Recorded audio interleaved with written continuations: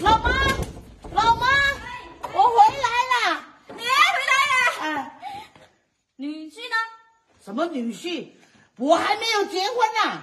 女婿那你男朋友你都没带一个回来呀、没有，走回去。哎呀，回回回什么回呀、女儿，你今年都已经要四十岁了，你怎么还单身呐、现在呀、都是月光族，赚完花完，身体健康最重要。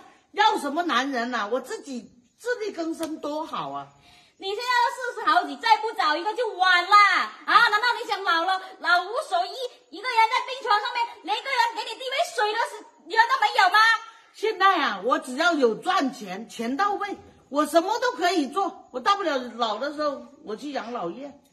哎呀你怎么这么犟啊？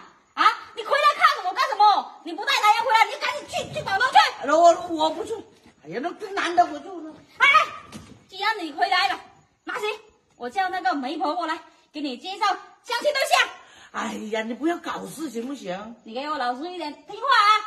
我把你叫那个媒婆过来带你去相亲，趁早啊，过年之前结完婚。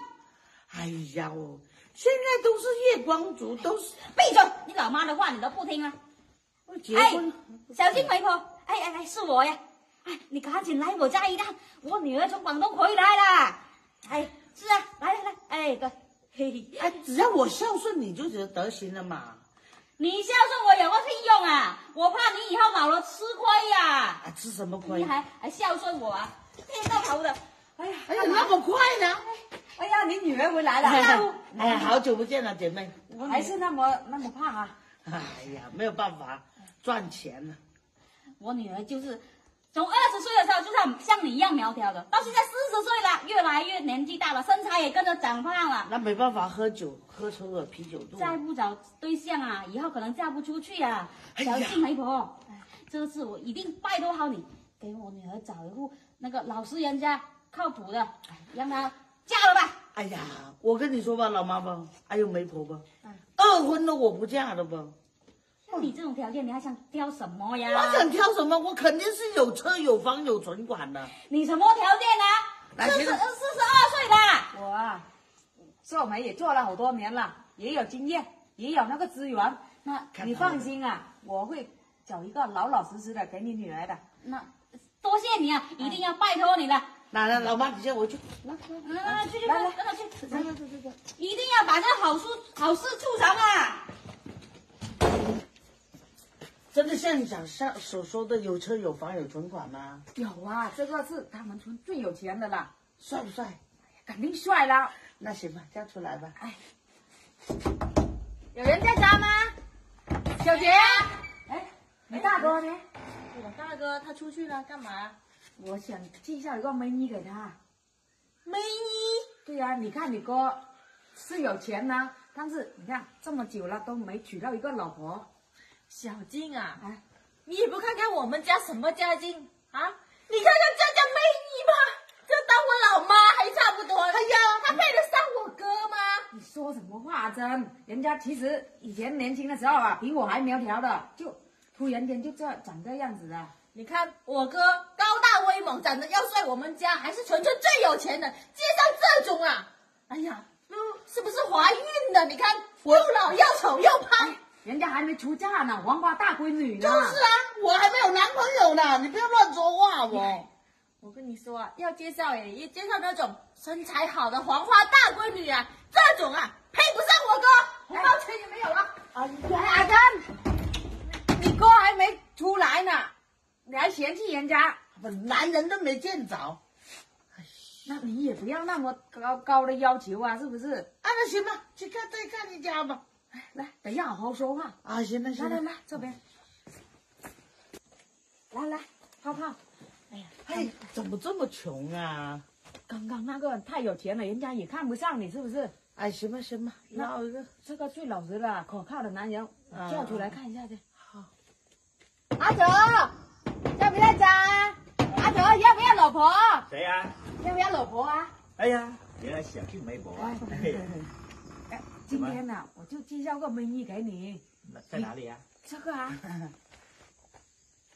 介绍她给我。对呀、她叫泡泡。她虽然年纪大了一点，但是她人很好的。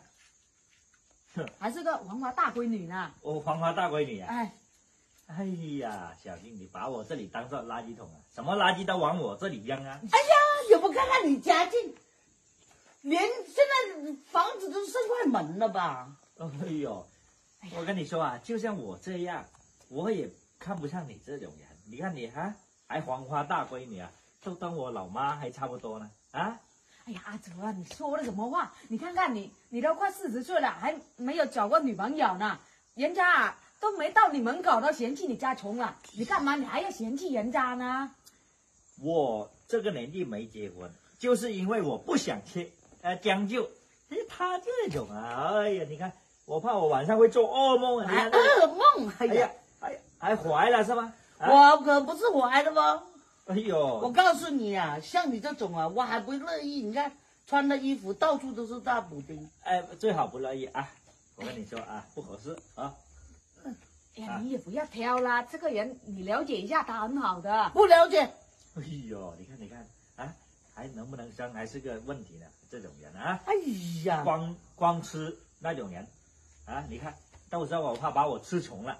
哎，算了吧啊，反正啊红包也没有，改天有合适的再介绍给我。哎，阿德，你你再考虑考虑吧。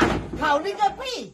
像他这种啊，一辈子都是光棍。我跟你讲，媒婆哦，哼，那你穷的也不行，有钱的人家也看不上你啊、那你要找什么样的嘛？等一下回去怎么跟你老妈交代呀、随便怎么交代，再去看一个吧。那行吧。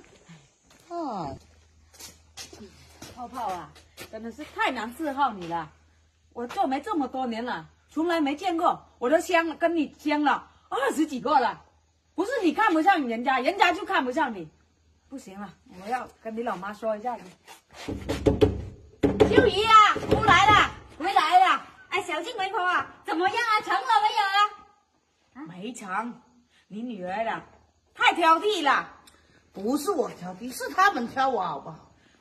有钱的人家是不会愿意要他的，然后穷的他要挑人家。再再找穷点的也无所谓啊。刚刚我找那个已经是最穷的了。再穷就是这种没房子住了就租借了。你女儿要有车有房有存款的，我可看这种人你看不上你女儿。不是你什么意思啊？哎啊，女儿，你我跟你你看，看你的身材，你的条件，四十好几岁了吧？都大龄剩女了，你还挑有房有车的，人家已经瞎了吗？不选你啊？那再普通一点，再老妈朴素一点就行了。老妈呀，她刚才介绍一个尿尿不会提裤子的，她竟然说，你说介绍这种给我干嘛？哎呀，我去伺候她。秀姨啊，哎你就实话告诉你吧，我啊做媒这么多年，我从来没有遇到过像你女儿这么难搞的人。你看看，我今天带他去多少个门口了？二十几个啊！不是人家嫌他，就是他嫌人家的。所以啊，我真的是无能为力了。以后啊，你就不要叫我给你女儿介绍了。哎，这个帮忙，这个帮忙，这个村不行，隔壁镇也行，再远一点都无所谓啊。不行了，什么人都介绍给他了。以后啊，你你还是找个其他人吧啊！我先走了。哎哎，媒婆，哎，哎哎呀，喊什么喊呢？我说你你想怎么样？你想气死老妈吗？你想明天送我上新东村是不是啊？哎老妈现在去找，我们回去了。哎，回去回什么去？不行，我你今年过年之前必须要找到男朋友，这样我翻倍我那个东西，哎呀叫那个媒婆过来。哎，不要叫了。哎呀，好了，哎呀，我跟你说，我不，我是一个不结婚的主意，我也不想要小孩，我就想自由自在的生活。你们能不能不要逼我？哎呦，你你你还要自由啊？你自由以后怎么办啊？以后生病了，谁在医院照顾你啊？以后咳嗽了、住院了，躺在床上，谁给你端茶递水啊？我现在都不知道明天发生什么事情，为什么非得要我结婚？你知不知道，一旦结了婚，柴柴米油盐酱醋茶还要跟男人分享。如果嫁到一个好的，他会对我好；嫁到一个不好的话，天天把我当牛一样使用，当保姆一样用。我告诉你啊，你再跟我说介绍了，我跟你说这个年啊不过了。我跟你说，我就广东。哎呀，你个婢女呀、你你反骨啊你啊！反骨你你翅膀硬了是吗？你连老妈的话你都不听啊你！老妈，我就跟你说吧，现在啊，如果嫁得好的话，就是嫁对了男人；嫁错了男人啊，这辈子啊，我想想回头也回不了了。别人保姆了我宁愿一个人自由自在的再见。